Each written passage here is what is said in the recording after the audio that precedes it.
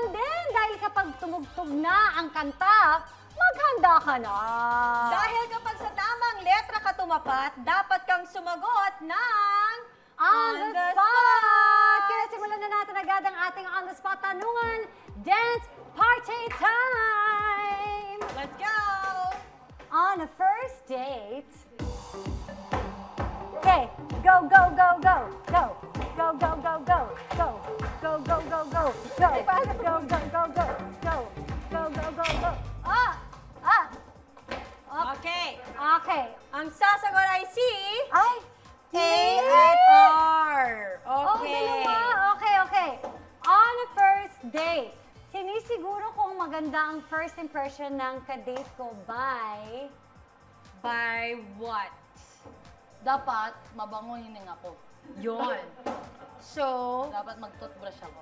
Ayun. Nice one, Mars. What about you, Mars? Ako, Mars, wala akong ginagawa. Talaga? Oo, kasi kung pumayag na ako sa first date, ibig sabihin, komportable ako sa kanya. Hindi ko dapat kailangan magpa first impression sa kanya. Oh, nice, taray. Mars. Back! Okay, okay, akong okay, gagawin. okay, okay. Okay.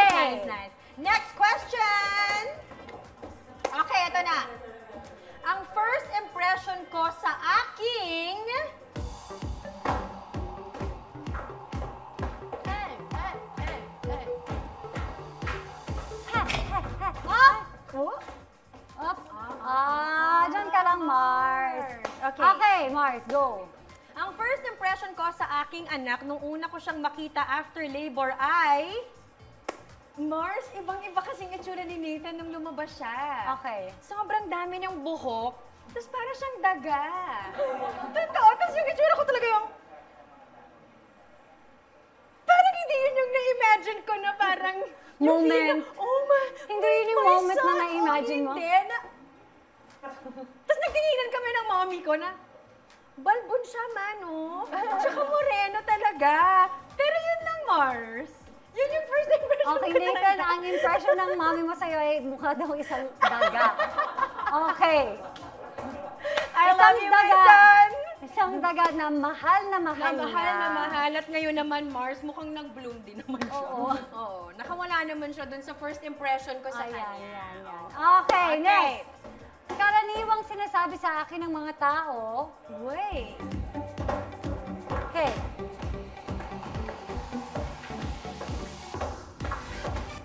Ah!